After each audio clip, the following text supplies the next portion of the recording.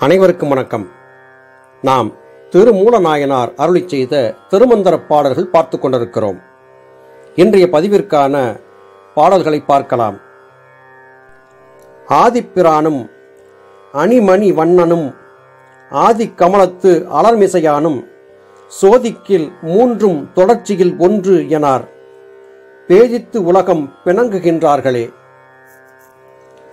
இந்த உலக மக்கள் ஆதியிலே இருந்து இந்த பிரபஞ்சம் முழுவதையும் படைத்திருப்பது பராபரம் என்பதை உணர்ந்திருக்கவில்லை. குழப்பத்திலே ஆழ்ந்திருக்கிறார்கள். படைப்பு கடவுள் பிரம்மா காக்கும் கடவுள் விஷ்ணு அழிக்கும் கடவுள் உருத்திரன் என்பதாக தவறுதலாக புரிந்திருக்கிறார்கள். பேதித்து உலகம் பிணங்குகிறார்கள் குழப்ப வயப்பட்டிருக்கிறார்கள். சோதிக்கியில் மூன்றும் தொடர்ச்சியில் ஒன்று என்பதை புரிந்து கொள்ளாமல் இருக்கிறார்கள். படைப்பது பிரம்மா காப்பது விஷ்ணு அழிப்பது ஒருத்தரன் என்று கருதி இருக்கக்கூடிய மடமையாளர்கள் இந்த மூன்றுமே ஒன்றுதான் என்பதை புரியாமல் இருக்கிறார்கள். ஞானபிதா சுவாமி சிவானந்த பரமஹம்சர் அவர்கள் சித்த வேதத்திலே சொல்லியதைப் போல அகங்காரம் என்பது பிரம்மாவாகி இந்த உலகத்தை சிருஷ்டிக்கிறது. மனம் என்பது விஷ்ணுவாக இருந்து இந்த உலக சிருஷ்டியை காத்து கொண்டிருக்கிறது. ஜீவன் என்பதே இந்த இரண்டும் இயங்குவதற்கு காரணமாக இருக்கிறது. புத்தி சித்தம் என்று சொல்லக்கூடியதிலே சித்தம் என்கிற அறிவாகிய ஞானம் ஏற்பட்ட போது அகங்காரமாகிய பிரம்மாவும் இல்லை விஷ்ணுவாகிய மனமும் இல்லை. இந்த இரண்டையும் தவிர்த்து சதாசிவமாக இருக்கக்கூடிய ஜீவனாகிய சிவனை மட்டுமே அடைந்துவிட வேண்டும் என்பதை சுவாமி சிவானந்த பரமஹம்சர் அவர்கள் அருளி செய்திருக்கிறார்கள். இங்கே திருமணருடைய இந்த பாடலும் இந்த கருத்தைத்தான் எதிரொலிக்கிறது. ஆதிப்பிரான் என்று சொல்லப்படுபவர் பராபரம்தான் என்பதை உணராமல் மூன்று தெய்வங்கள் இருக்கின்றன. படைக்கும் கடவுள் காக்கும் கடவுள் அழிக்கும் கடவுள் என்பதாக எல்லாம் தவறுதலாக புரிந்திருக்கிறார்கள். இந்த புரிதலில் ஏற்பட்ட குழப்பமே அவர்களை யோகத்திற்கு செல்ல விடாமல் தடுக்கிறது. ஈசன் இருக்கும் இருவினைக்கு அப்புறம் பீசம் உலகில் பெருந்தெய்வம் ஆனது. ஈசன் அது இது என்பார் நினைப்பிலார். தூசு பிடித்தவர் தூரறிந்தார்களே இந்த உலக மக்கள் உண்மையின் தத்துவத்தை உணராமல் இருக்கிறார்கள். ஈசனுடைய இருப்பிடம் அறிவது என்பது அத்தனை சுலபமான காரியம் அல்ல. ஏனென்றால் ஈசனை அறிய முடியாதபடியாக நல்வினை தீவினை என்று சொல்லப்படக்கூடிய இரண்டு வினைகள் தடுத்து நிற்கின்றன. நல்வினை புரிந்தவனும் அதன் பலனை அனுபவிப்பதற்காக பிறந்தாக வேண்டியிருக்கிறது. தீவினை புரிந்தவனும் அதனால் ஏற்படக்கூடிய துன்பத்தை சந்திப்பதற்காக பிறந்தாக வேண்டியிருக்கிறது. இந்த மானுட பிறப்பு என்பதே நல்வினை தீவினை ஆகிய இந்த இரண்டு வகையான கர்ம வினைகளையும் தொலைப்பதற்காகவே ஏற்பட்டிருக்கிறது. இந்த இரண்டு வகையான வினைகளும் முற்று முதலாக தொலைந்து போகாத வரையிலும் ஈசனை அறிய முடியாது. இந்த உலகத்திலே பெரிய தெய்வம் என்று ஒன்று இருக்கிறது. அது சிவன். அந்த சிவனை மந்திரங்களை சொல்லியோ அல்லது வேறு ஏதாவது ஹோமங்கள் யாகங்கள் ஆகியவற்றை நிகழ்த்தியோ அபிடேக ஆராதனைகளை செய்தோ அடைந்துவிட முடியும் என்று இந்த மக்கள் தவறுதலாக கருதியிருக்கிறார்கள். அது காரணமாகவே அந்த ஊர் ஆலயத்தில் இருக்கக்கூடிய சிவன் வல்லமையானவர். இந்த ஊர் ஆலயத்தில் இருக்கக்கூடிய சிவன் வல்லமையானவர். அந்த தெய்வம் பெரிது இந்த தெய்வம் பெரிது அதுதான் சிவம் இதுதான் சிவம் என்பதாக தவறுதலாக புரிந்திருக்கிறார்கள். இவர்கள் எல்லோருமே உண்மையை பற்றி உணராமல் இருக்கிறார்கள். ஈசனை அறிய வேண்டும் என்றால் இருவினைகள் தீர வேண்டும் என்பதை அறியாமல் இருக்கிறார்கள். இதை எப்பொழுது அறிகிறார்களோ அப்பொழுது மாத்திரமே அவர்களுக்கு ஞான தெளிவு என்பது ஏற்படும்.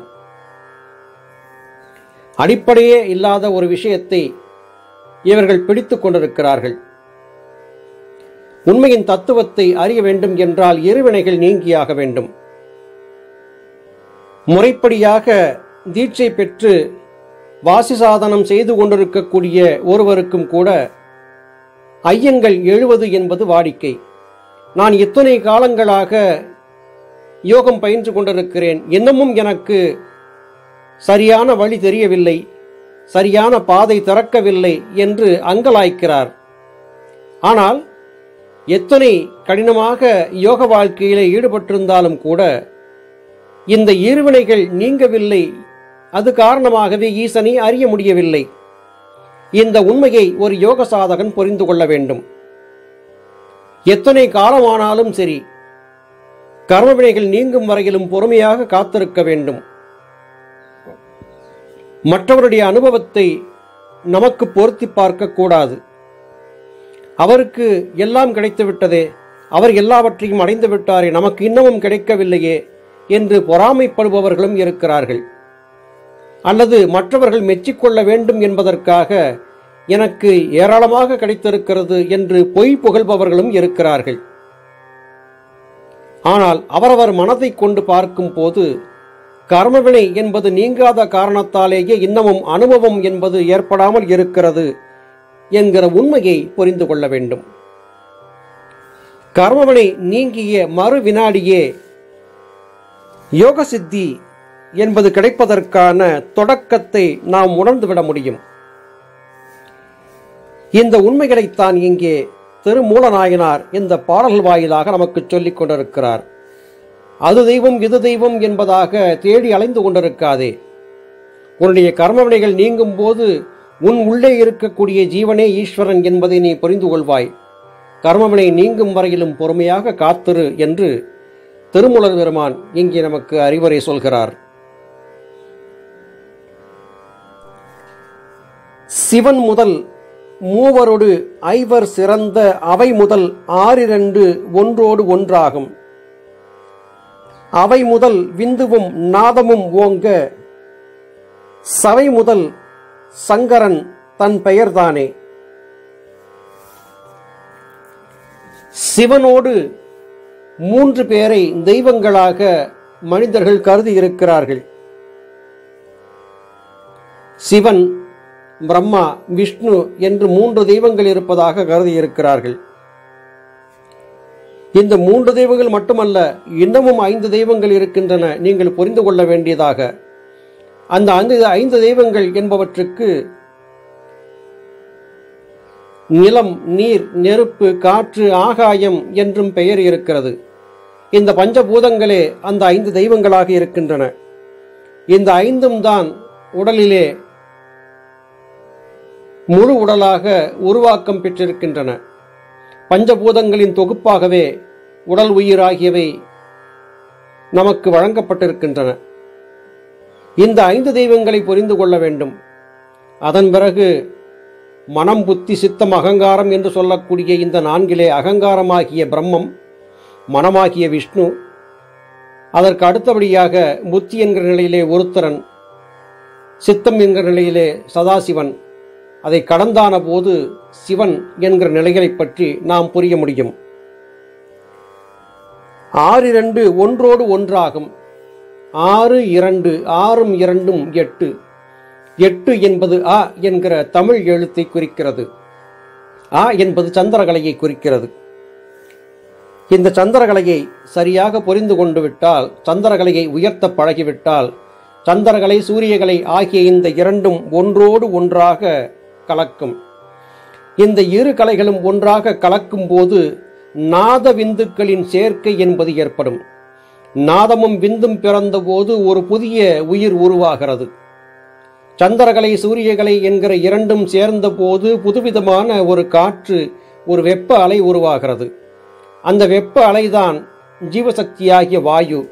அதுவே குண்டலினி என்பதை புரிந்து கொள்ளலாம். இந்த புதுவிதமான வாயு சரியாக சுழுமுனை வாசலை தொலைத்து மனம் புத்தி சித்தம் அகங்காரம் என்று சொல்லக்கூடிய இந்த நான்கையும் சம்ஹாரம் செய்கிறது. அப்படி சம்ஹாரம் செய்யும் போது மோட்சத்திற்கான கதவம் திறக்கிறது.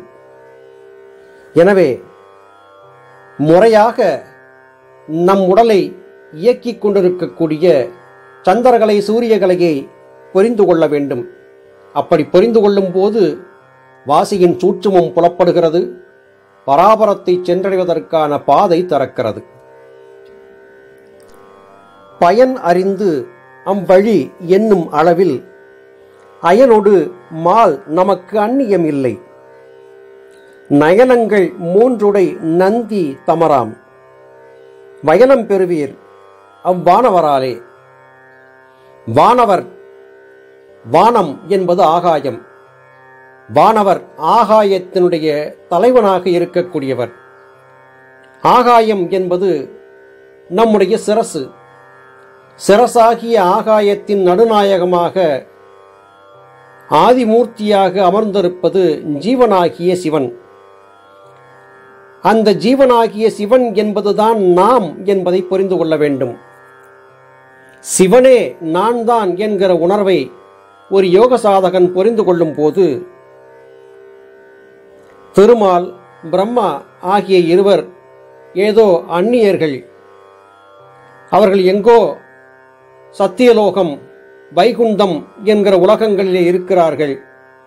அவர்களை நாம் காணவும் அறியவும் முடியாது என்று புரியாமல் தவித்துக் கொண்டிருக்கிறார்கள்.